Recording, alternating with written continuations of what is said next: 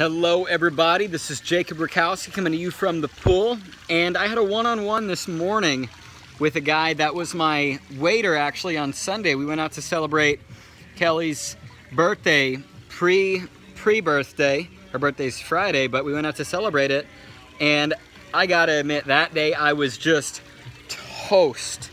I mean from flying to St. Louis, getting up early for the Super Saturday and then waking up at before 4 a.m. to catch a flight at 6 a.m.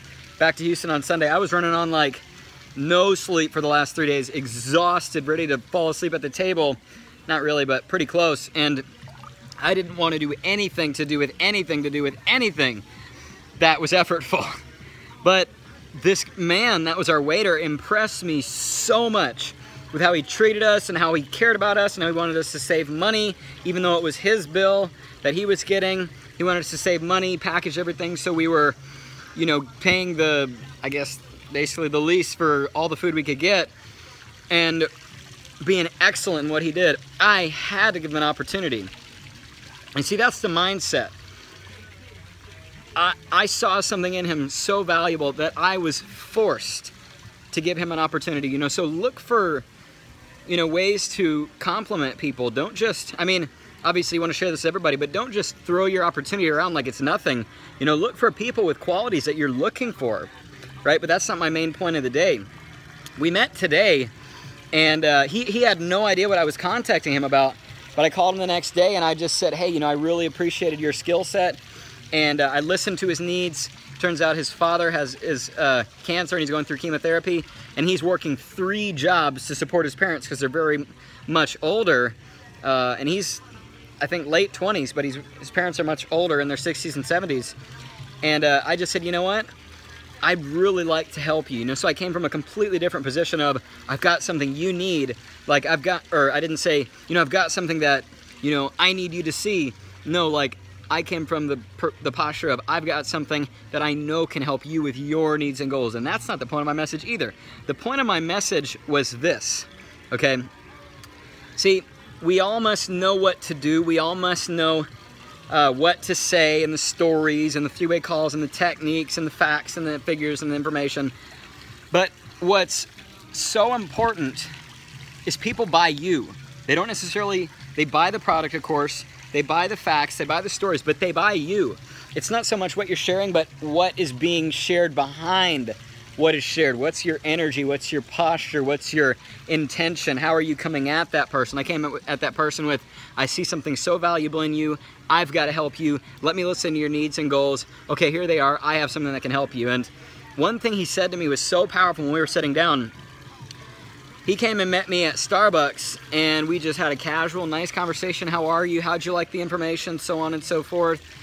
And we just casually talked about the business. No business presentation, like obviously not like a official flip chart presentation, just talking, just sharing facts and figures and stories about the information and answering his questions. And that's what's so powerful about sending somebody a link before you meet with them. I sent him the conference call I did on June 10th. You can get that link if you message me for it, or you can send them our company info, whatever, to fill their details in and then meet with them in person. But here's what was most powerful to me. He said, I love how you're just so casual about this. You're letting me ask the questions. You're not the one hammering me and drilling me. That's how I know you're not trying to sell me something. You're actually interested in what I want to know and in me really because if you're trying to sell me something, you'd be just pushing and shoving information down my throat and continually asking me questions and, you know, coming at me.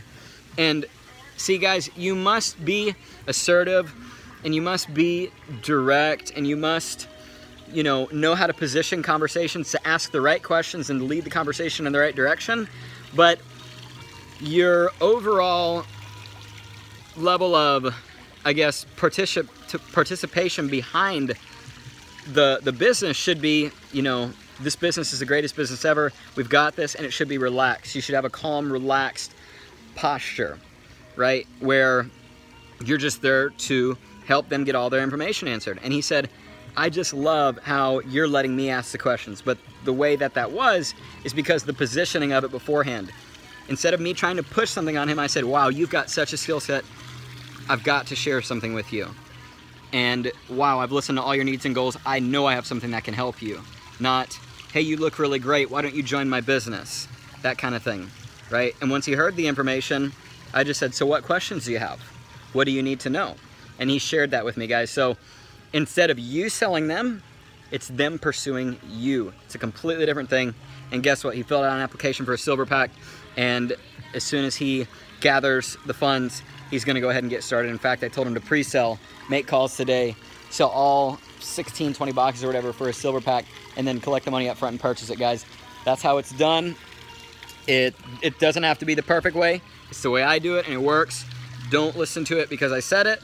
Listen to it, see what applies to you, and be the best you that you can be applying this information. Tell stories, three-way calls, utilize the upline, present, know your uh, opportunity is great, have posture, but relax and let people sell you on them, not you sell them on you on the business. Let's keep it OG. God bless.